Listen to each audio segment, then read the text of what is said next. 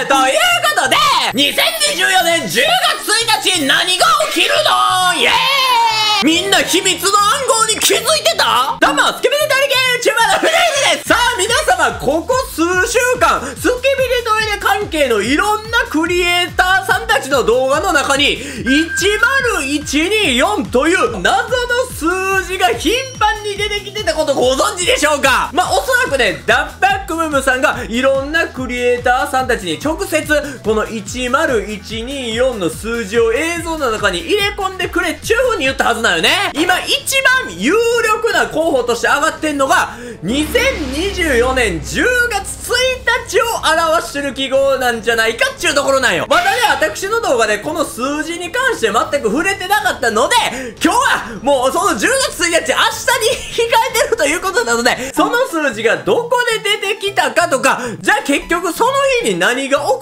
るのっていうところをね、まとめて皆様にお話ししていきたいと思います。ぜひ最後までお楽しみください。今、チャンネル登録者30万人目指してるので、スケミデトイレが好きな方、チャンネル登録、高評価もよろしくお願いいたします。ほないこかプロル公式スタンプ発売中みんな買ってくれよなはい、に関して全く知らんかったよっていう方も多いと思うので、一個一個見ていきたいんやけど、まず一つ目は、ドームスタジオさんの動画。みんな気づいた？これがね、一番わかりやすかったんけど、実際に出てきたのはこのシーズン10のまとめ映像ですね。その中で出てきたのがこの追加シーンの部分やと。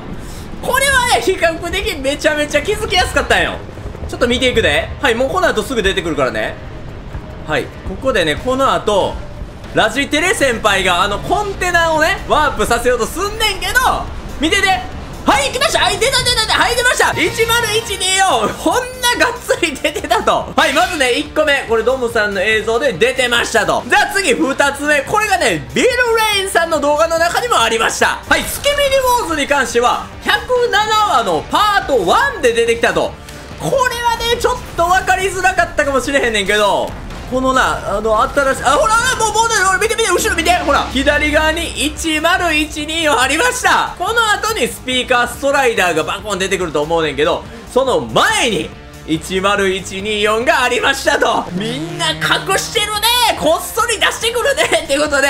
はい、じゃあね、まだまだあります。次が、スパイダーさんのスキビリインベンジョン。これも見ていきましょう。はい、これは35話のパート2で出てくるみたいねんけど、私ね、これ初めて見ます。スキビリインベンジョン初めて見ます。はい、もう、もうあったよ、今。見た、今。はい、もう一回いく。はい、これこれ、はい、右下、101をあります。スキビリイメージをこんなキャラ出てくるの初めて見てんけど。これは分かりづらいな。あ、右下だけじゃなくて、左下にもあるわ。で、まだまだあります。次、マクシディさんのスキビリサーガにも出てきたと。はい、これも見ていきましょう。これは12話のパート1で出てくんねんけど、こんな映像なんスケビリサーガーの見てほしいっていうね、お声かなり多かったんやけど、スケビリサーガー初めて見たで。こんなんだ、ちょっとおもろそうやな。これもまた見なあかんわ。はい、で、これ入りました船に10124書かれてますいや、普通にスケビリサーガーも見たいねんけど。はい、ここにも書かれてましたと。じゃあね、もう一個だけラスト見ていきましょう。他にも色々出てきてんねんけど、まあちょっと見出すとね、キリがないので、最後あげるのは、スケビリジェネシスってやつやね。これ見ていきましょう。このシリーズは7話で出てくるみたいなんやけど、もうこれこそ全く見たことない。初見でございます。おもろそうやな。はい、はい、もう、もう、出た、ほら見て、ここ1012これで、どういうストーリーなんやろスキビディジェネシスのストーリーも知りたいけど。さあ、じゃあですよ。こんないろんな作品に書かれてる1012これどういう意味なんやっちゅうところで、今一番濃厚とされてるのが、ダッバックブームさん最近、おもちゃ会社とライセンス締結しましたよねはい、もうここにまつわるところなんやけど、ついに、キビリトイレのグッズが大々的に展開されていく日がこの日なんじゃないかっちゅうことでございますまあ、今までね、ダバックさんの公式ストアの方ではフィギュア買ってたんやけど、もっとこれからフィギュアが増えるとなれば、そらもう、スキビリトイレフィギュア開封系 YouTuber フルフルとしては、最高でございますよ。で、ここに関してね、実はめちゃめちゃ濃厚な根拠があるんよ。これ見てください。これがね、海外の Amazon やねんけど、ついに、今まで DaFuq!?さんの公式ストアでしか買えなかったグッズたちがアマゾンでも買えるようになったんよ。 Skibidi Toilet Official Store って書いております。 Collectibles これ私が買っとったやつ今まで。こっち側にはこれ今までね売っとった。えー、服とかアパレル系とかね、アクセサリー系とか、いろいろ出てる中で、一番下見てこれ。おいおい待てよ、なんやこのグッズ。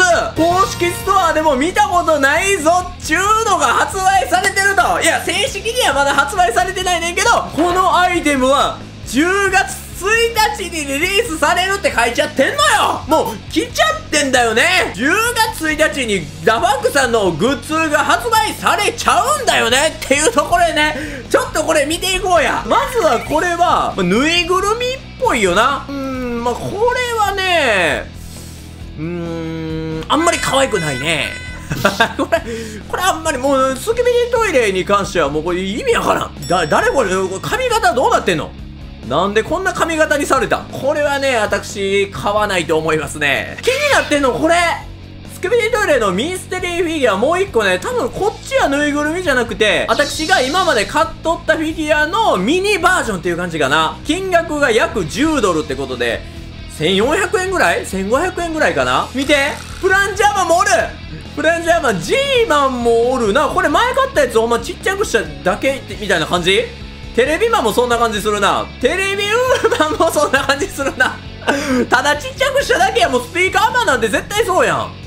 カメラマンも、ただちっちゃくしただけ。まあ、強いて言うなら、スピーカーウーマンがまだないのと、プランジャーマンがないからね。うーん。はいはいはいはい。まあ、どうな、まあでもこれは欲しいなあ、コンプリートセットあるわ。これが8000ドルぐらいってことやから、何本ぐらい ?1 万3000円とか、それぐらいってこと？せっかくやったらコンプリートセット買いたいな。ちょっとここ要相談っていうところで。まあまあ、とりあえずね、一応10124に関してはもうおそらく、このグッズ販売が濃厚ちゃうかなってとこやねんけど、まだ100%ではないので、一旦ね、ダファックさん本人からの、えー、お伝えがあるのを待ちましょうというところで、本日以上でございますということで、いかがでしたでしょうか？さあ、いろんなことでね、我々を楽しませてくれるダフックさん。次はグッズをさらに展開していくぜっちゅう流れになりそうということで楽しみでございますわ。この情報解禁された時には